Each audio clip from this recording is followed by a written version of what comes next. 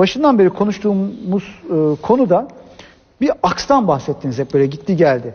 İşte İngilizler, Almanlar yani İngilizlerin ve Almanların Osmanlı üzerindeki rekabetinin içerideki bir yansıması oluyor. İngilizlere yakın olanlar, Almanlara yakın olanlar diye içeride bir uzantısı oluyor bazen. Ee, veya hepsi tartışılıyor. Ya birileri mesela İngilizce olmakla hep suçlanır. Bugün bile. Evet. Hatta herhangi bir tarihçi bir yorum Üçüncü yaptı. bir, üçüncü bir ekol var. Fransız ekolü Bir var. de Fransız ekolü var. O da bakarsanız Rusya geleneksel düşman. Bakın bu konuda size e, bir İngiliz tarihçisi, üstelik de beğendiğim bir tarihçi değildir. E, vefat etti yıllar önce ama e, e, beğenmediğim de e, Feroz Ahmet da ona eleştiri yazmıştı. Bir makalesi vardır ama çok güzel yazar adam. Ve güzel başlamıştır yazıya. Der ki bu Birinci Dünya Savaşı'na niye İngiltere'nin yanında değil de Almanların Almanlar. yanında girdik filan diye bana kalırsa kötü bir makaledir ama çok güzel başlar yazıya. İyi de yazıyor adam. Diyor ki Boğazlarda diyor iki tane diyor İngiliz mezarlığı vardır diyor. Kuzeydekini diyor e, Ruslara karşı boğazları kapatmaya çalışırken e, vurulup ölenler yatıyor diyor. Güneyindekinde de diyor Ruslara diyor yardıma gidip onlarla birlik olmak için e, saldırdıklarında vurulup ölenler yatıyor. Şimdi bu aslında biraz evvel konuştuklarımıza çok güzel bir örnek. İla nihaye dostumuz ya da ila nihaye düşmanımız olacak birileri yok. İngiltere'nin hatta belki bir Osmanlı politikası da yok. İngiltere'nin bir Rusya politikası var. Rusya ile arası iyiyse Çanakkale'ye gelip ölüyor. Rusya ile arası kötüyse Kırım'a gidip savaşıp e, bizim Selimiye'de gömülüyor. Ben anlatabiliyor muyum? Mesele bu. Ee, Bunun yanında bir rekabet daha var. Şey, Tam bunu bu anlatan küçük bir gibi. e, hemen destekleyici mahiyette bir kitap var. E, bu Sultan Abdülhamit döneminde gelmiş Sidney Whitman, Whitman diye bir gazeteci. Hı hı. On Ee, Türkiye anıları. Evet bu geldiği zaman e. Sidney Whitman E, kitabında diyor ki bir e, İstanbul valisiyle konuşmuş 1896'da bakın tam da Osmanlı Bankası baskını sırasında. Diyor ki vali şöyle söylemiş gazeteciye. İngiltere bir zamanlar bizim için bir gül bahçesi, hoş düşünceler ve manzaralar ile hatıralar kaynağıydı. Şimdi yazıklar olsun aramıza bir yılan girdi demişti. Yani biz Birinci Dünya Savaşı'na neden İngiliz taraftarına girmedi? Daha 1896'da e, vali bunu biliyor. Yani Osmanlı e, bürokrasisi bunun farkında. Aramıza bir yılan girdi. Bize bir yılan. O gayet açık bir tezgahtır. İngiltere, Fransa, Rusya'yı Almanya'ya karşı savaşta tutabilmek için böyle bizi tepsi peşkeş çekti. içerisinde Evet. Osmanlı'yı Rusya'ya ikram ettiler. Evet, Boğazları bile vermeye, Doğu Anadolu'nun tümüyle vermeye razı oldular. Ve bu sebeple de e, ama Churchill anılarında bunu uzun uzun anlatır. E, Goben ve Breslau gemilerinin boğaza girişi ve onların satın alınışı olayı bile Churchill'in tezgahıdır.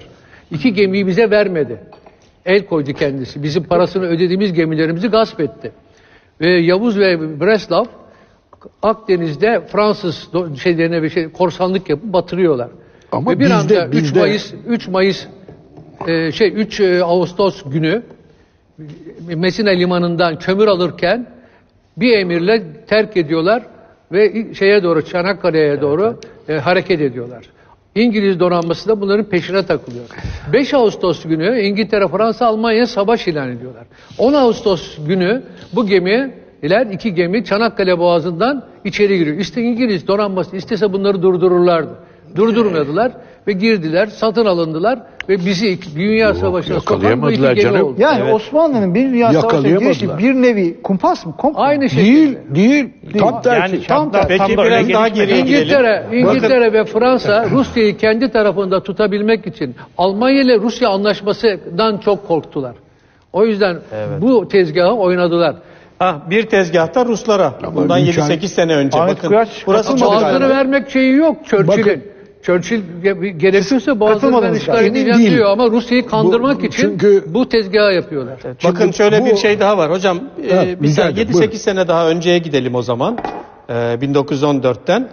E, İngilizler biliyorsunuz üçlü ihtilafı kurdu. Önce çok eski zamanlarda Fransa'yla bir anlaşma imzalamıştı. Ama Ruslarla anlaşma imzalayamıyordu bir türlü Almanlara karşı. Peki Rusları da tezgaha getirdi. Nasıl? Ee, Rusları kendine bağlaması için önce onların burnunu sürtmesi lazımdı.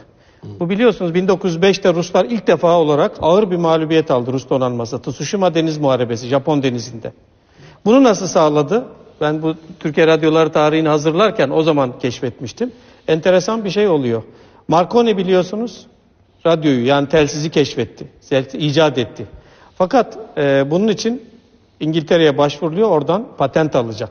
İngilizler oyalıyorlar bir türlü patent vermiyorlar. Tam bu sırada bu patent teknik bilgilerini Japonlara oradaki e, bir amirale bunları gizlice veriyorlar.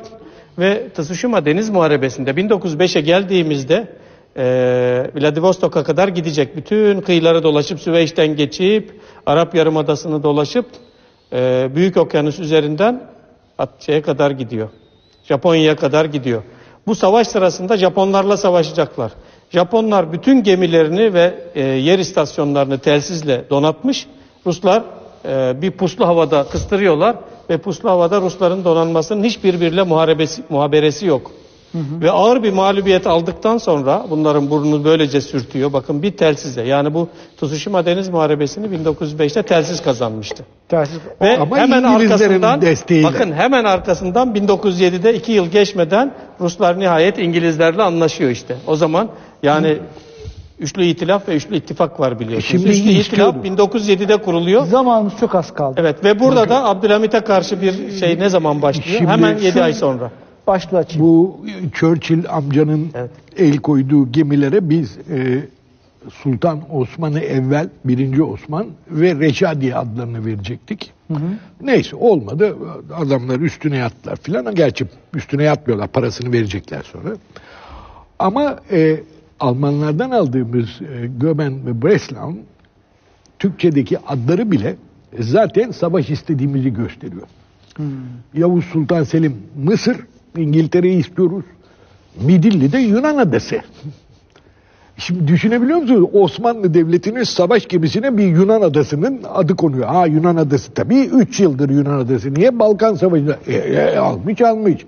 Geri alacak. E, bu geri alacağım demektir. Bu ne demek oluyor? Ben savaşı Yani gemilere hazırlarım. konan isim bile aslında savaş ilanı. Evet, evet. Yani Adıyla ha- bile. Ha Adıyla. Midilli demişsiniz, öyle ha Selanik zaten. demişsiniz. Bir Yani fark yok savaşın yani. kalan bütün dünya savaşa gidiyor zaten. Osmanlı'nın yeni kaybettiği bir adayı almasından daha tabii ne olabilir? Hayır, Türkler- savaş olmuş başlamış zaten. Bizden alacakları iki gemiye çok muhtaçtılar. Çünkü İstanbul'la Trabzon limanı arasında taşımacılığı sağlayamadıkları sürece, güvenliği sağlayamadıkları, Karadeniz üstünü sağlayamadıkları sürece savaşa katılmazlar. Dolayısıyla diyor bu iki geminin şeye katılması, Türk donanmasına katılması hem savaşın Rusya tarafından e, Rusya'ya karşı yönlenmesini sağlayacak. Dolayısıyla iki tane korsan gemide Kara Akdeniz'den uzaklaşmış olacak ve Türkler diyor bu savaşa bu iki gemi sayesinde katılacaklar dedi ve katıldılar. Ve şeyi de takip ediyor. Kafkasya'da Türk istihbaratının yapmış olduğu istihbarat çalışmalarını bile Churchill yazıyor anılarında. Peki Churchill'in Yani- planı neydi? 6 ay içinde Çanakkale'ye geçip İstanbul'u işgal edip savaş dışı kalmak. değil, Onların uyarıda savaşın girmek bitişini istemiyor. Birinci Dünya Savaşı'nın sadece 6 ay süreceğini hesaplamışlardı. Evet. Çanakkale'yi Azami bir yıl. hesaplamamışlardı. Azami bir yıl. Bir Rus ordularını do- teçhiz edeceğiz. Tabii. Almanya'yı sıkıştırıp işi bitireceğiz. Planlarının hiçbiri tutmadı. Bolşevik ihtilalini hesaplayamadılar. Rusya'nın savaş dışı O- olacağını zaten hesaplayamadılar. Bolşevik ihtilali savaşın getirmiş olduğu sefaletin sonucunda ortaya çıktı. Buna karşılık Avrupa'da faşizm patladı. Mussolini ile beraber faşizm patladı. Şimdi Birinci Dünya Savaşı'nda Savaşın dönüm noktası aslında Çanakkale. anafartolar, Evet. bir- birinci dönüm noktası 18 Mart, ikinci dönüm noktası anafartolar. Ve bu savaş 4 sene sürdü.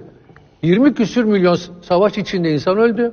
Savaşın sonunda gelen sefalet, açlık, İspanyol gribinden dolayı Avrupalı yazarların bahsettiği rakamlar 30'da 50 milyon daha. Aslında bu Eğer kazanan asgariden alırsanız bu 50 gal- milyon insan ölüyor. Evet, aslında bu galipler için de bir mağlubiyet oldu. Bu bir nevi Pirus zaferi. İngiltere içinde. Tabii tabii. Yani imparatorluklar tarihe gömüldü. Avrupa'daki bütün imparatorluklar gömüldü hemen hemen. E, İngiliz İmparatorluğu artık şeyi kaybetti. E, şampiyonluğu kaybetti. Daha sonra 1932'de Amerika e, birinci plana Girdi. geçti.